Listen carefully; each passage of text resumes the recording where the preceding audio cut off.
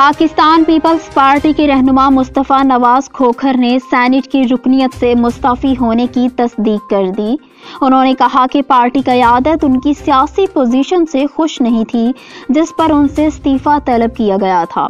Twitter पर जारी अपने पैगाम में मुस्तफ़ा नवाज़ खोखर ने बताया कि उनकी आज पार्टी के एक सीनियर लीडर से मुलाकात हुई, जिसने पैगाम दिया कि पार्टी क्यादत मेरी सियासी पोजीशन से खुश नहीं और सैनेट से मेरा इस्तीफ़ा चाहती है। मैंने बाखुशी इस्तीफ़ा देने पर रजामंदी ज़ाहिर कर दी। मुस्तफ़ा नवाज़ खोखर ने कहा कि एक सियासी कारकुन के तौर पर मैं मफाद आमा के मामला पर अपनी राय का इजहार करने के अपने हक की कदर करता हूँ। सिंध से सैनेट की नशस्त देने पर पार्टी क्यादत का भी मशहूर हूँ।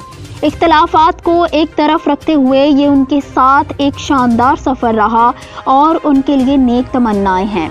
उन्होंने ऐलान किया कि कल वो चेयरमैन सैनेट सादिक सिंजुरानी से मुलाकात करके ज़ाती हैसियत में अपना इस्तीफ़ा पेश करेंगे।